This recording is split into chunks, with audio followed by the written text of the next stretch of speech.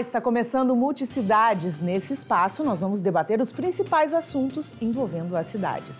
Eu sou Fernanda Esquiava e fico com você a partir de agora, aqui na tela da Ubra TV. O assunto de hoje é voltado para uma parceria entre a Prefeitura de Canoas e a Central Única das Favelas, uma lavanderia comunitária destinada à população do bairro Rio Branco, que foi duramente atingido pelas enchentes do mês de maio. Esteve lá Carol Soares e a gente vai conferir agora tudo a respeito desse projeto. A Sônia veio ontem buscar doação de alimentos no centro de distribuição do bairro Rio Branco e descobriu a lavanderia comunitária que está disponível no local. Hoje ela já trouxe as roupas para lavar e secar. Eu olhei assim e vi e me interessei. Eu digo, eu vou levar, né? Imagina trazer uma roupa que tá ali suja, botar ali, sair tudo limpinho, tudo cheirosinho. Eu achei bem legal a iniciativa de colocar aqui pro o pessoal, para nós, né? A lavanderia foi inaugurada nesta semana em Canoas. Ela é a maior entre as 11 disponibilizadas pela Central Única das Favelas em cidades atingidas pela enchente. Quando as pessoas perderam tudo que tinham dentro de casa, a prioridade das pessoas ao, ao reconstruir suas vidas são itens de primeira necessidade, né? como colchão, camas. E a gente percebeu que as famílias deixariam a máquina de lavar por último, lavariam no, no, no tanque. Né? Então, nesse sentido, a CUFA fez a aquisição de 60 máquinas de conjuntos de lava e seca. Nós também estamos contratando pessoas nas, nessas comunidades, então são 11 pessoas uh, que estão sendo contratadas. A Cláudia foi uma das contratadas. Fora do mercado de trabalho há sete anos, a moradora de Canoas perdeu tudo na enchente. Para ela, a oportunidade veio uma boa hora. Eu perdi tudo, minhas quatro filhas, tudo a gente está recomeçando, né? Tudo de novo. E muitas coisas faltam, né? Porque tu vai. Quer fazer um bolo, não tem uma forma. É uma oportunidade que veio em boa hora para mim. A lavanderia está localizada no pátio da Escola Municipal Nelson Paim Terra, no bairro Rio Branco. Mas todos os moradores do lado oeste de Canoas que foram atingidos pela enchente podem utilizar esse serviço de 15 em 15 dias. E assim é bom porque tu vem, tu conversa, tu uh, é, é para a mulher principalmente é assim tu sai de casa, tu dá uma olhadinha, quem tem filho na escola já já, já leva, já traz a roupinha, já lava. Isso é até uma forma, assim, de um alento para a gente, né? São 10 máquinas de lavar e secar que podem ser utilizadas pela população. O serviço fica disponível de segunda a sexta-feira mediante agendamento presencial. No serviço, ele é fornecido também o sabão líquido e o amaciante para ser utilizado nas lavagens e na secagem das roupas. A gente estima que cada ciclo entre lavar e secar roupa é de uma hora e meia a duas horas, né? As pessoas que estão utilizando o serviço da lavanderia comunitária, elas falam muito a respeito. Bom, olha, eu não tenho secador ainda, não consegui comprar minha máquina de lavar, vai diminuir meu custo de energia elétrica, meu custo de, de água. Então, isso tudo é, é, são iniciativas que auxiliam a população a poder superar essa fase e reconstruir com a maior brevidade possível. O Eduardo conta que as lavanderias já abertas têm recebido uma grande aceitação da comunidade e pensa em expandir o projeto. Elas foram adquiridas através da campanha do Pix SOS Rio Grande do Sul, uma campanha, uma mobilização nacional da CUFA, né, onde nós temos recebido doações até o dia de hoje, a gente ainda a gente segue recebendo de pessoas físicas, empresários, artistas. Então, parte dos recursos que nós recebemos, nós adquirimos as máquinas, compramos os e estamos contratando as pessoas. Então, é uma experiência que nós estamos fazendo e futuramente, sim, nós podemos estar ampliando esse projeto. Para uma população que perdeu muita coisa na cheia de maio, a lavanderia será bastante útil. Facilita bastante já. Poder lavar e secar, nossa, já diminui nosso tempo de trabalho né, em casa, né? Porque já leva pronto, né? Vou trazer mais vezes, já espalhei para a família. E para saber mais sobre esse projeto, eu vou conversar com o Eduardo Cardoso, representante regional da CUFA. Boa tarde, Eduardo. Seja bem-vindo ao Multicidades. Que baita projeto, hein? Eu fiz questão de te trazer aqui para falar um pouquinho sobre a, a importância né, de, de, de, de tudo que vocês fazem. Para falar para os nossos telespectadores, vou te fazer, para começo de conversa, a primeira pergunta. qual o papel da CUFA nas comunidades? Boa tarde, Fernanda. Boa tarde aos nossos telespectadores. A, a CUFA ela vem desenvolvendo um papel importantíssimo há mais de 20 anos. Né? A CUFA nasceu nos complexos de favelas do Rio de Janeiro e se espalhou pelo Brasil. Então, hoje são 507 cidades onde nós temos base comunitária. Essas 507 cidades atendem mais de 5 mil favelas. A CUFA em períodos uh, emergenciais, né, a, a, acaba atuando uh, em situações humanitárias, como nós vivemos aqui no Rio Grande do Sul, mas além disso, a CUFA vem desenvolvendo um importante trabalho na área do esporte, na área da cultura, geração de trabalho e renda, empreendedorismo para pessoas de territórios periféricos, sobretudo pessoas pretas né, e mulheres de territórios periféricos. Então, a CUFA ela vem atuando já há algum tempo nessa área e nós, de de modo que nós estamos, hoje, na semana passada, nós encerramos a edição da Expo Favela uh, Global, que foi em Paris. É a primeira vez que a Expo Favela sai, sai do Brasil, então chegamos a Paris. São 34 países onde a CUFA possui operações sempre representando, né, atendendo, ouvindo as demandas das comunidades, propondo soluções, ah, parcerias com prefeituras, como a exemplo aqui da, da cidade de Canoas, com a nossa lavanderia, ah, com o governo federal, empresas privadas, enfim.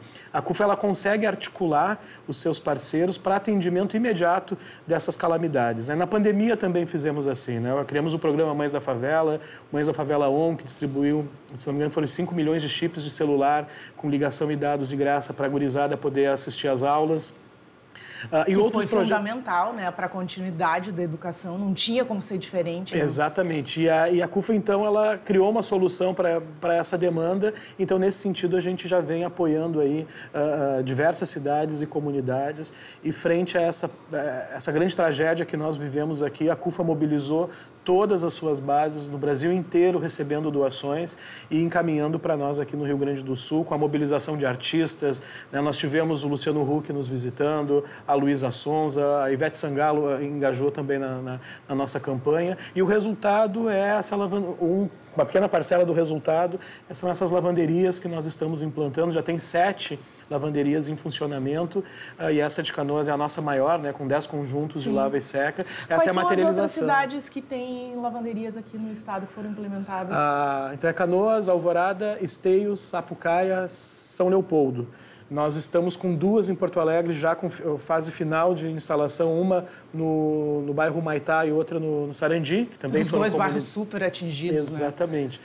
E a nossa ideia é chegarmos até 11 lavanderias. E o mais legal das lavanderias é que nós também estamos gerando trabalho, porque em cada uma das lavanderias nós contratamos uma mulher, sobretudo uma mulher preta, que tenha sido vítima da enchente, elas estão trabalhando, recebendo um salário e, e operacionalizando as lavanderias. É muito importante, assim, ó, gente, para quem é, não conhece, às vezes a gente tem uma visão tão limitada e eu sempre digo assim, Eduardo, é, nós precisamos, as novas gerações precisam derrubar os muros invisíveis que cercam as comunidades mais carentes, né? E trazer oportunidades para que eles sejam em, em, prol da igualdade, né? Uhum. Eu acho que todos nós temos direito a a igualdade a tudo.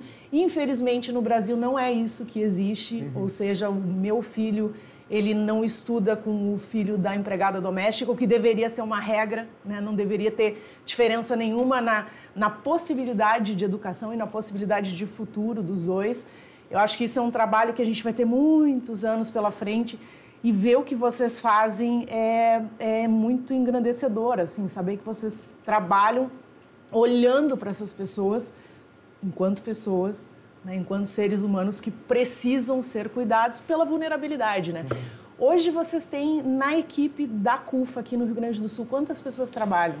Olha, é, tirando os voluntários, em torno de 160 pessoas. Bastante gente. É, e aí, no período da, da, da, enchente, o nosso maior centro de distribuição acabou se tornando Esteio, pela localização geográfica, estar próximo à rodovia RS 118, né, que não foi atingida pela enchente, Sim. a BR ela ficou. Ah, nós chegamos a ter, num único dia, mais de 100 voluntários recebendo as doações na cidade de Esteio, encaminhando para 92 cidades.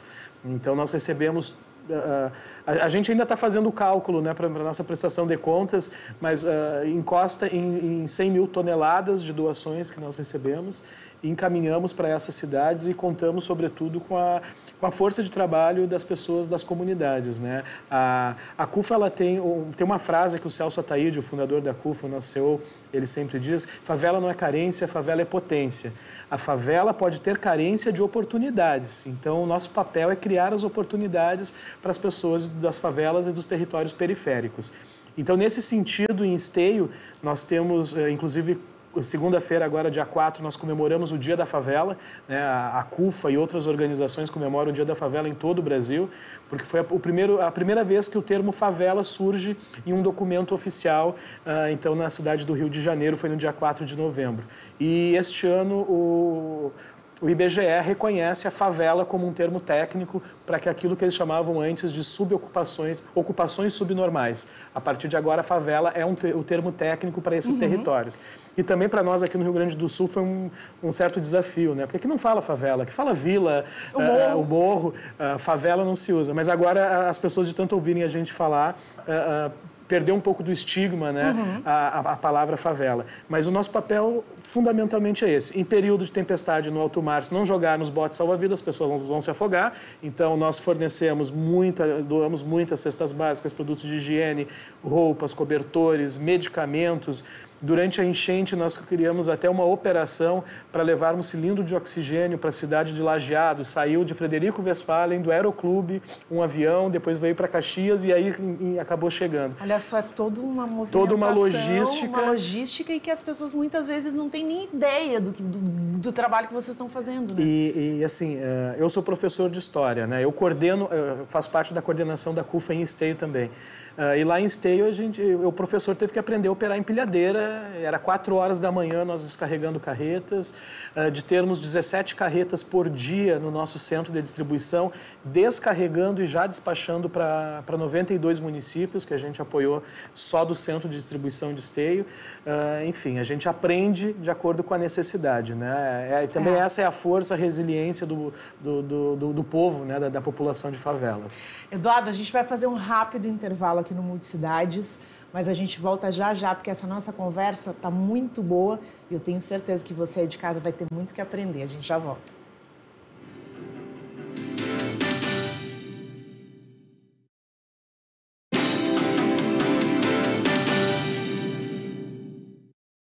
Na Ubra você tem um futuro com raízes sólidas. O vestibular 2025 tá on. São mais de 30 opções de cursos presenciais, híbridos e EAD para você estudar com flexibilidade. E por falar nisso, sabia que você pode ingressar no curso dos seus sonhos por vestibular, segunda graduação, transferência ou nota do Enem? Aqui você tem condições de pagamento super especiais com opções de parcelamento e financiamento exclusivas, além de descontos imperdíveis. Estude com equilíbrio entre a teoria e a prática com uma infraestrutura que oferece a melhor experiência e ultrapasse fronteiras com oportunidade de intercâmbio. Acesse ubra.br/vestibular e matricule-se. Ubra, nossas raízes são do Sul.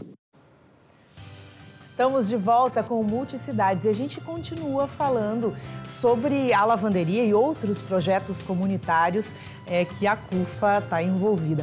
Eduardo, essa questão da, das lavanderias, elas já existiam antes da enchente ou elas foram implementadas depois para atender uma necessidade da população? É, antes das enchentes nós não tínhamos nenhuma lavanderia, né? Até porque não era uma demanda apresentada. É claro que num período de enchente as pessoas têm outras prioridades né, para estar tá adquirindo como móveis eletrodomésticos e a, como se tem o tanquinho, ainda se vai para o tanque para lavar. Então a oportunidade da comunidade estar tá utilizando, ainda mais lavando com, com, água quente, né, inclusive as roupas das enchentes uh, que te, ficam com um cheiro muito forte, impregnado. Né, é muito, fato, foi precisa... muito barro. Né? Eu, eu tive amigos que eles, eles passaram por isso, eu estava conversando com o Eduardo antes da gente entrar no ar é, as pessoas tiveram que muitas vezes passar lava-jato nas roupas e lavar uma, duas, três vezes para poder deixar elas em condições de serem usadas. E muitas vezes perderam, porque não, não tinha como, né? Então, isso aí é um baita de um projeto auxiliando. Quantas pessoas hoje é, em Canoa, você tem ideia mais ou menos que já estão utilizando essa estrutura? São 40, são 40 fichas, 40 agendamentos por dia na cidade de Canoas. Na cidade de Esteio são 30 uh, Sapucaia também 30, é, é, na, é, na, média disso, né? São o número de, de, famílias que utilizam as lavanderias todos os dias. E o serviço é totalmente gratuito? Totalmente gratuito, a comunidade não precisa levar nem o sabão ou, o amaciante, e tudo de marca, tudo de qualidade, né? Custeado pela CUFA.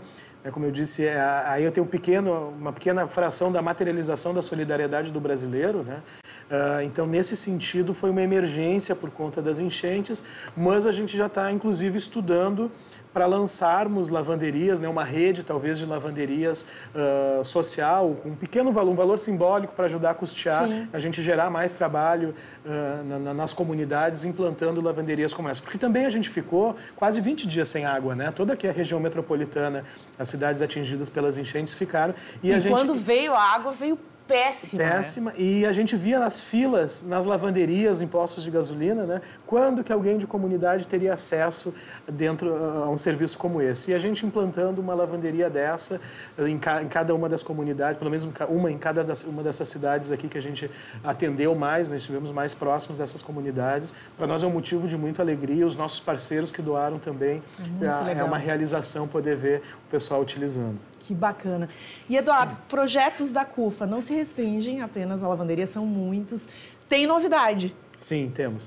Uh, na cidade de Canoas, né, já, já, está tramitando a cedência da Praça da Juventude, no bairro Guajuviras, né, e ainda já apresentamos um protocolo de intenções para assumirmos um outro espaço nessa comunidade do Rio Branco, que foi severamente atingida pelas enchentes, e ali nós vamos implantar, a exemplo do que nós temos em Esteio, o COP, Complexo de Oportunidades, que é, é dentro de um mesmo equipamento público, uma série de projetos e ações voltadas a justamente dar oportunidades para essa, essa comunidade. Então, teremos ali desde qualificação profissional para jovens de 15 a 29 anos, uma, um, um, tipo de um centro da juventude com cursos rápidos de barbearia, manicure, ah, na área da gastronomia, assistente administrativo, vendas. São conhecimentos que a gurizada possa imediatamente ah, transformar isso numa habilidade para gerar renda.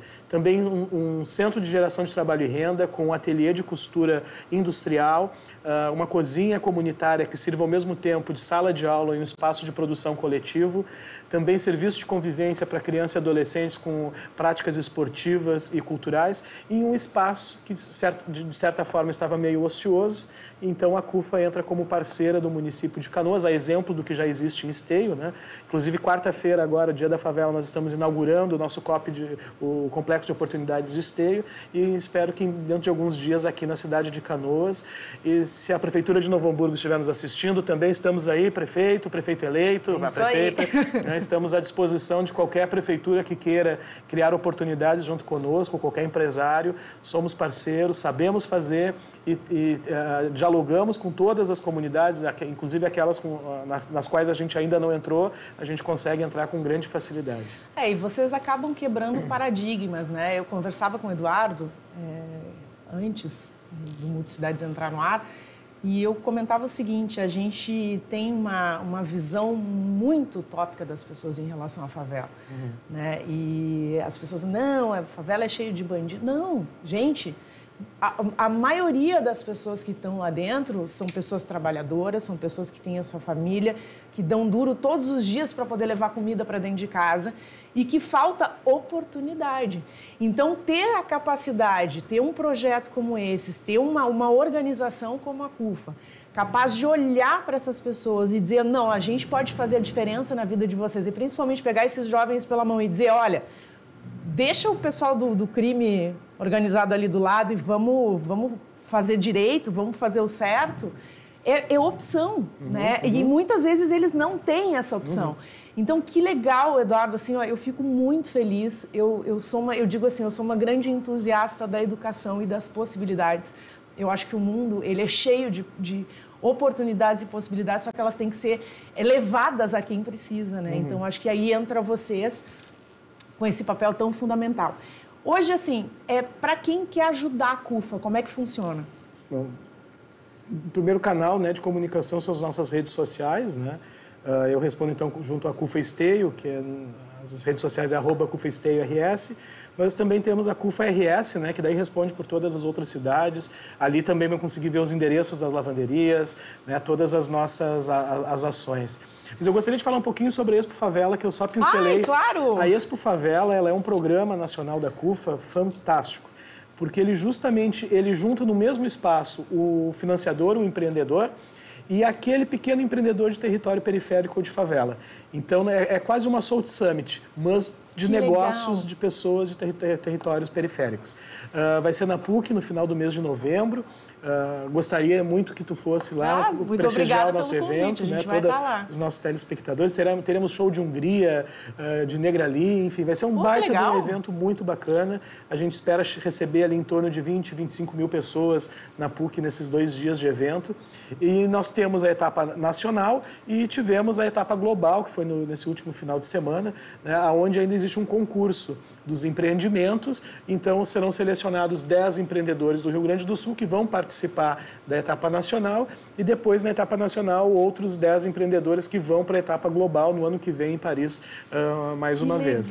Então, também é voltar, também a, a CUFA ela observa né, o tamanho da favela, quanto que a favela consome e produz. Né? Uh, hoje, se nós fôssemos colocar toda a população de favelas do Brasil, nós seríamos o quarto estado mais populoso.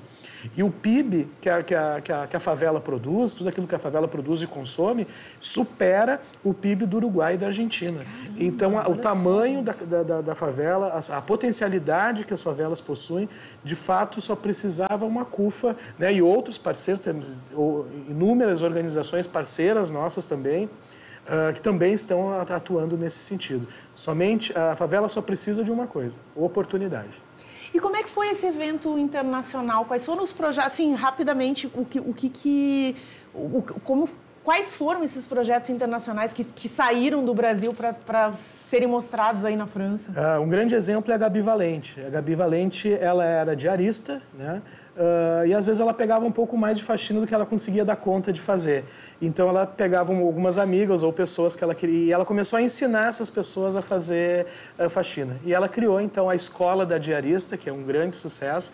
A Gabi Valente ela foi capa de, de diversas revistas, uh, ganhou etapa no, no, Rio Grande do Sul, ganhou etapa nacional e foi para Paris. Ai, ela teve lá divulgando o empreendimento dela. E hoje ela tem uma marca de produtos de, de, de, de voltados para... Mudou completamente esse... a vida dela. Exatamente. Foi, então, é de um, de um pequeno negócio. E eu tenho uma aposta esse ano, nós, nós conhecemos até por conta da enchente, um rapaz na cidade de Sapucaia que ele montou um protótipo de um drone, né? E esse drone, então, ele tem uma capacidade maior, enfim, uma tecnologia de um rapaz preto periférico da cidade de Sapucaia que, que a gente está trazendo para o Rio, para Fresco Favela Rio Grande do Sul e eu tenho a impressão que ele vai estar em Paris no ano que vem, representando as favelas. Que legal. Eduardo, muito obrigada pela tua presença aqui no Multicidades. Parabéns pelo trabalho que vocês realizam. Contem conosco naquilo que vocês precisarem. Bom, bons trabalhos, boas ideias são sempre bem-vindos por aqui. Assim, ó, e obrigada pelo que vocês fazem. Acho que a gente, enquanto cidadão, tem que agradecer é, tudo que vocês fazem e a todos os voluntários e a todos que trabalham incansavelmente para tentar mudar a história do nosso país aí. É, obrigado, Fernando. Para nós é um privilégio estar aqui contigo. Né? Sempre que nos chamarem, nós viremos. Uh, mas como o Celso também diz, nós não somos herói de nada. A gente estava no lugar certo, na hora certa, com a possibilidade, os contatos para fazer com que essas doações chegassem a quem mais precisava. Nós simplesmente cumprimos o nosso papel e seguiremos assim cumprindo. Cumpriram brilhantemente. Obrigado. Multicidades de hoje vai ficando por aqui. Esta e outras entrevistas você pode ver no nosso canal no YouTube da Ubra TV. Tchau, tchau.